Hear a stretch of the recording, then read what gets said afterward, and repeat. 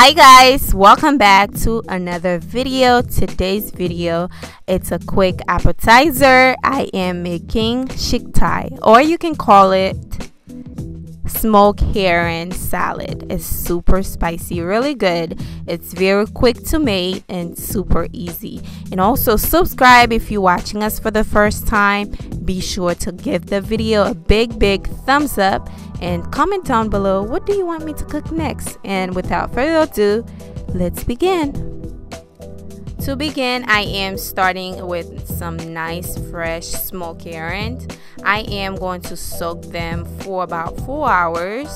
I am using room temperature water. Okay this is about four hours later. They look nice and soft Next, we're going to throw away that water because we don't need it. It's really salty. We do not need salty water.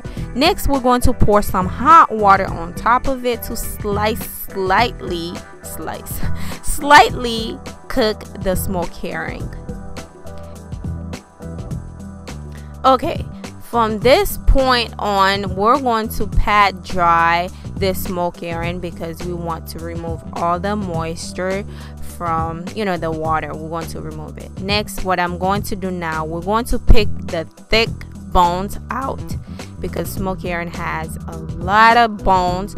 We're going to remove the thick ones out. We're not going to be able to remove all of the bones but whichever thin out and it's super thick we're going to remove it. I am using my handy dandy scissors to remove them and the rest of them they're chewable. So I am not going to remove them and I don't have time to remove them. If you do uh, be my guest. Go ahead and remove them because it will take you a long time to remove them.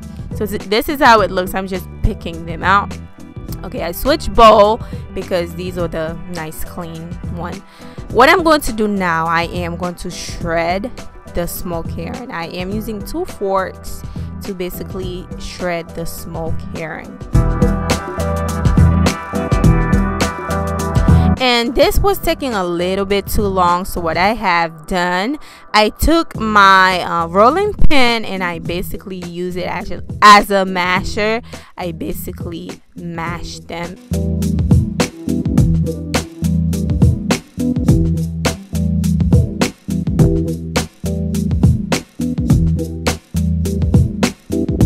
okay now guys what we're going to do we're going to um, basically mash them to a point where they super fine and there's no big thick um, smoked herring left. It looks nice and finely um, chopped.